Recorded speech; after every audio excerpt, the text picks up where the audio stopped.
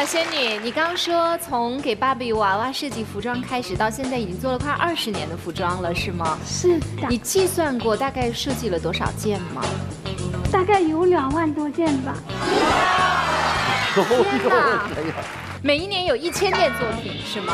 是的，一天三件。这两万多件包含了给芭比娃娃做的衣服。嗯，芭比娃娃的个子那么小，一个一个一个，很快的，一会儿一个，一会儿一个。嗯，那我想问问，这得花多少钱呀？你想，一年一千多件设计，哦，不花钱的。这布料什么的呢？哎，我不穿了的那种衣服啊什么的，塑料袋儿呀，那个瓶子呀，只有你想不到，没有我做不到的那种材料。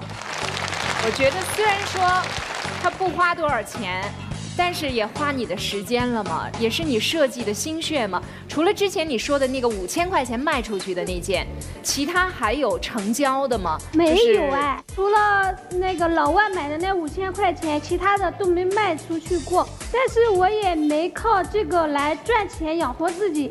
啊我有别的工作的，我现在在那个那个婚庆公司上班，一个月我觉得还可以吧，一个收入还不月工错是吗工？资在四五千块钱，虽然没那么多，但是养活我自己，养活家里人够了。